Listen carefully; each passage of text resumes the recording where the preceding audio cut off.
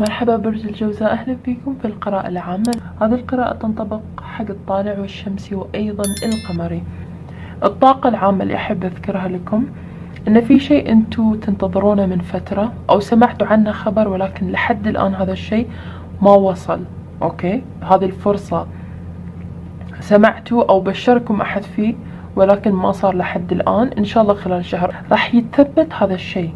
إما إذا كان حمل بالنسبة لبعضكم آه، زيادة أو ترقية في الوظيفة آه، زواج كان كان شوي تمرون بصعوبة عشان تحققون ارتباط معين أوكي؟ لا تكذبون الخبر اللي سمعتوه الخبر صحيح وإنما شوية راح ياخذ وقت عشان يمشي, يمشي في الإجراءات. لما نشوف هذا الكرت يقول لك يعني لا تتساءل وايد لا تتساءل وتخاف وتقلق. هذا الكرت عكس طاقة القلق. وعندنا هني ترى طاقة القلق لأن عندك تسعة السيوف. okay؟ لما تظل وايد مستعجل على أن الشيء يوصل عندك عندنا هني الحمامة أن الشيء وصلك الخبر وصلك النداء بنادونك. okay؟ بس أنت حين مستعجل على متى راح يتم الشيء. لا تقلق لا يهمك وايد التوقيت ومتى. إنزين؟ لأن الشيء قادم في طريقك. هنا عندنا مثل البيضة. البيضة مو على كيفنا تفقس في الوقت اللي إحنا نبيه؟ ساعات تاخذ أكثر من اللازم. زين؟ فكنا الموضوع شوية بيطول عندك؟ شوية ب...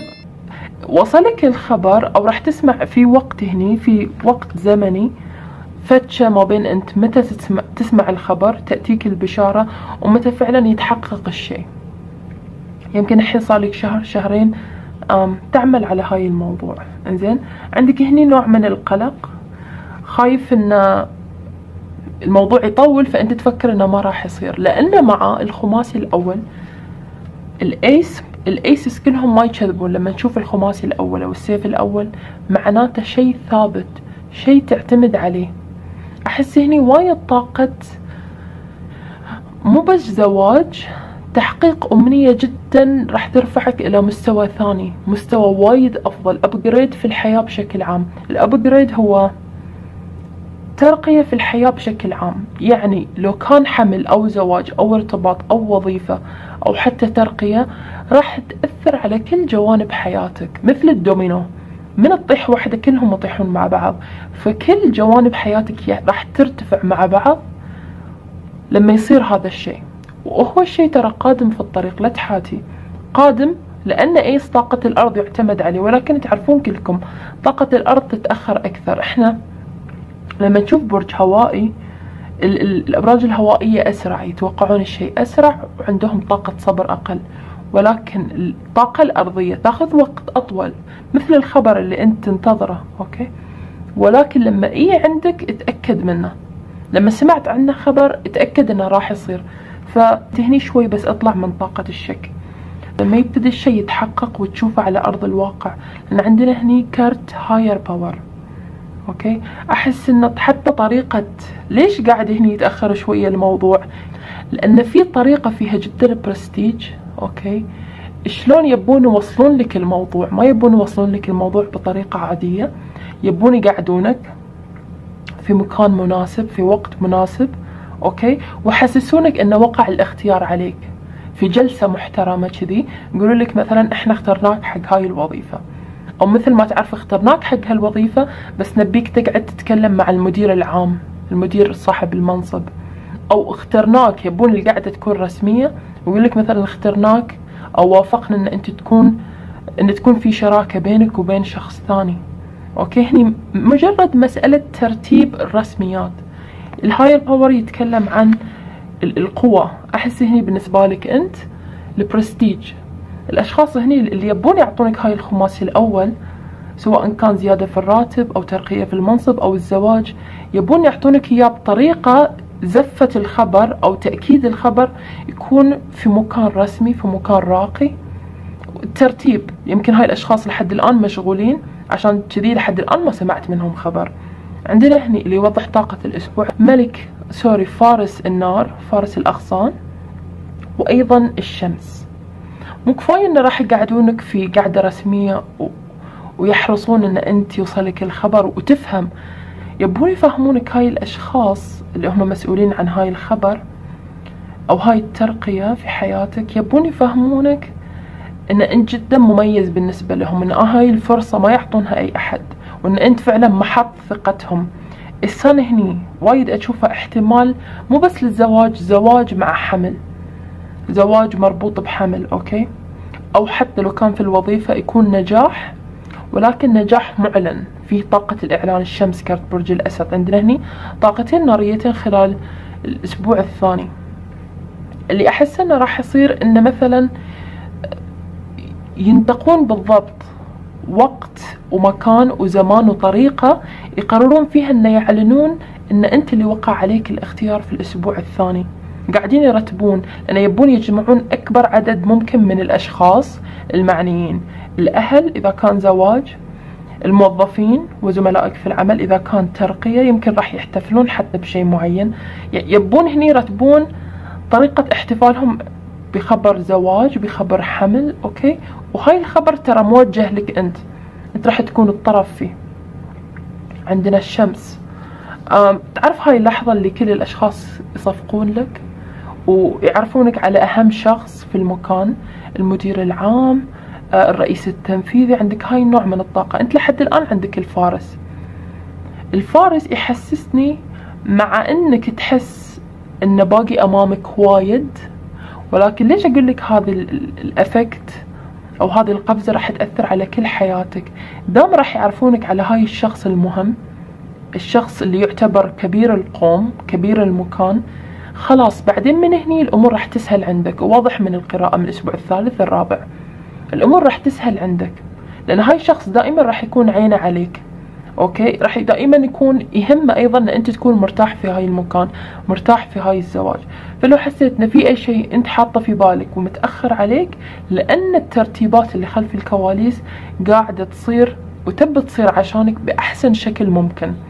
يعني لو كانت حتى مثلا سفرة طيارة ما يبون يسافرونك بشكل عادي أو في أي يوم وتكون الأمور مكركبة. يبون يسافرونك بترتيب في درجة يمكن حتى مو سياحية درجة business okay؟ يكون في أحسن استقبال يستقبلك يرشدونك لما أنت توصل للدولة الفلانية. ترتيبات هني ترتيبات وايد قاعدة تصير خلف الكواليس. لحد نص الشهر عندنا الأسبوع الثالث. poised poised أم أحس هذه هي اللحظة اللي أنت توقع فيها. ما أدري ليش جايين هني إحساس التوقيع. أتوقع إما على عقد الزواج على موافقتك. الأسبوع الثالث يتطلب منك إن أنت تظهر موافقتك على هذا الشيء اللي يعرضونه عليك. أنت متأكد أصلا أنك موافق؟ ولكن كأنما هم هني يسألونك يسألونك كذي بشكل رسمي عشان تبدي موافقتك. إنزين؟ ومع هذا الكرت عشرة الأغصان والفول. وأقول لك شغلة يا برج الجوزاء راح يوضحون لك هاي الأشخاص أو تجري معاهم نوع من الحديث في الأسبوع الثالث أن هذا الشيء اللي أنت مقبل عليه وإن كان في وايد امتياز مادي امتياز أن أنت يسطع نجمك تبين أكثر في عيون الأشخاص المهمين في هالمجال في فرصة أفضل بكثير أن أنت تثبت نفسك. تتنقل بين الوظائف ترتقي تتزوج شخص أفضل okay؟ أفضل يعني يرفعك حتى في المستوى الاجتماعي. ولكن أيضا راح يجرون معاك نوع من الحديث عشان يتأكدون إنك poised poise اللي هو نوع من الثبات إذا بتلاحظوا الصورة. يبون يتأكدون إن أنت ثابت وإن أنت فعلا تبي هذا الشيء. فخلال ثالث أسبوع شوية أظهر إنك متمسك. بهذه الفرصة اللي امامك لأنهم يحسون هو حمل ثقيل. خايفين إن أنت شوية ما راح تقدر تشيله أو خايفين إنه يتعبك.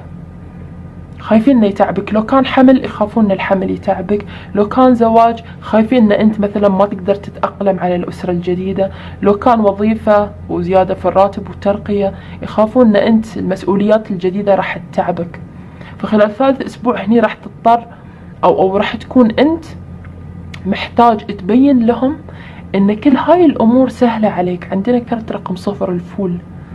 الفول. اللي دائما يكون مستعد يبتدي من الصفر. أنا صح اجتهدت قبل ولكن لحد الآن أنا المستعد إني أرد أرجع من الصفر وأبني من الصفر. لأن كنا هاي العرض الجديد راح ياخذك إلى مكان جديد. مو شرط فقط جسديا ولكن حتى من ناحية اجتهادك. راح تضطر تظهر نوع ثاني أو جزء ثاني من شخصيتك. جزء فيه مرونة ترى. جزء فيه إبراز لآرائك أكثر. لأن محتاج يعني ما تكون وايد مخفي عن العيان محتاج تظهر أكثر. تكون واضح okay? تكون لك موقف الفول يكون لك موقف زيادة. وتكون واضح في كلامك. اختار خلال الأسبوع الثالث في الحديث معاهم. مفردات تبين إن أنت فاهم الوضع اللي مقبل عليه ومستعد. مستعد تشيل هاي المسؤولية. okay? الأسبوع الرابع عندك blast هذا الأسبوع هو الأسبوع اللي خلاص تبتدي تستلم فيه الشيء اللي أنت لطالما انتظرته. لأن هذا كرت المنعم أو النعمة. معاه ثلاثة السيوف وملكة السيوف. أحس هني في ثلاثة السيوف.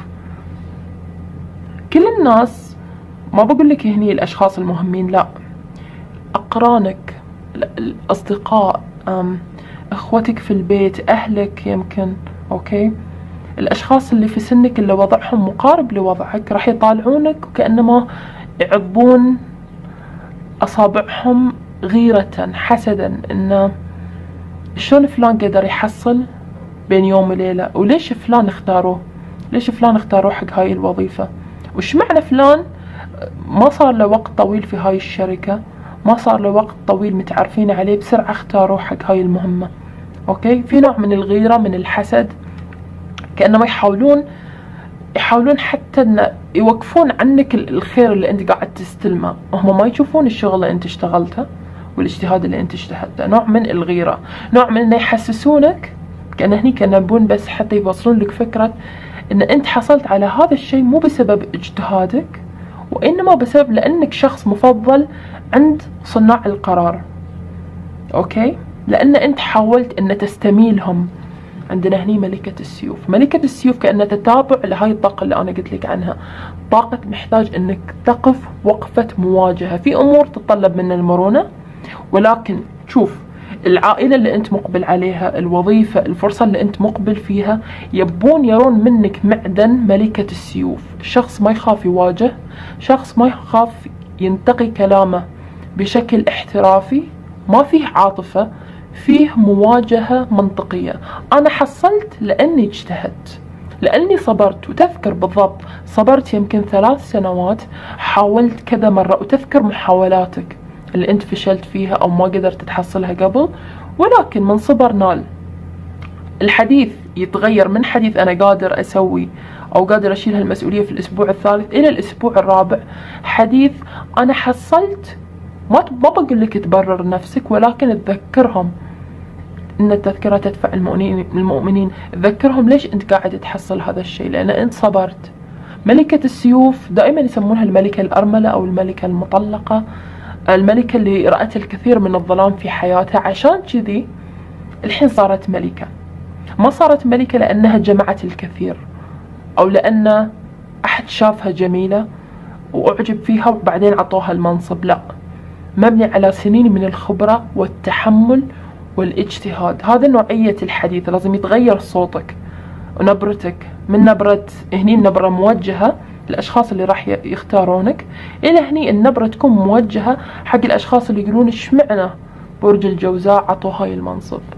اشمعنا برج الجوزاء وافقوا؟ مثلا لو كان في زواج هني معارضة أن يصير في زواج مثلا من قبائل مختلفة أو دول مختلفة.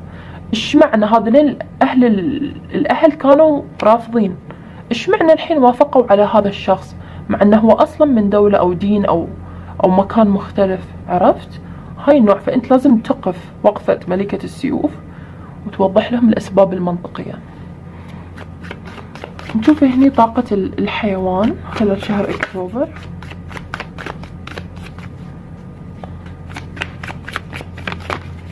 الأخطبوط.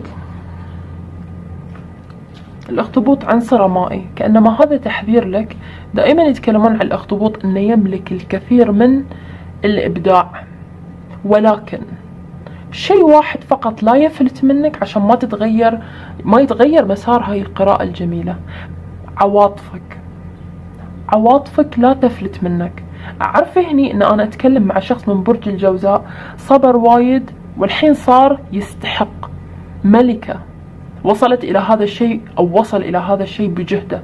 مو باعتماده على حسبه ونسبه والواسطة وغيره وغيره. okay? صبر وايد. مشكلتكم أنتم ما شفتوا أنه هو يصبر وهو قاعد يجتهد. الشيء الوحيد اللي إذا أفلت منك ممكن يغير مسار هاي القراءة وهو عواطفك. طاقة سيوف كأنما قاعدة تشجعك أن أنت ظل في طاقة العقل. طاقة أني أتناقش معاكم بدون ما أعصب بدون ما أسبكم بدون ما أختار ألفاظ غير لائقة.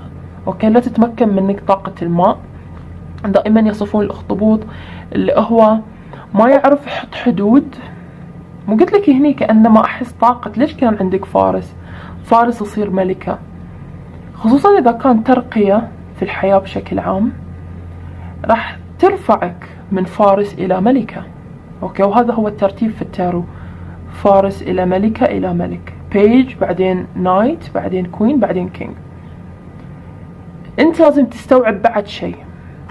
إن هذه الترقية تأتي مع نوع من المسؤولية. المسؤولية مو فقط تجاه الآخرين. أنت لازم تغير نبرتك. لازم تتصرف شوي بقيادية أكثر واضح أكثر أوكي؟ ما يصير دائما تكون مرن مع الآخرين. محتاج شوية تظهر من الجانب الصارم منك الجانب القيادي. لأن أنت قاعد هني تتسلق هرم وقاعد في صعود. فهم هني يبون هاي الأشخاص يشوفون منك الجانب القوي الجانب اللي عنده مسؤولية الجانب اللي ما يخاف إنه ياخذ قرارات صارمة قرارات سريعة قرارات فيها نوع من المواجهة. أوكي؟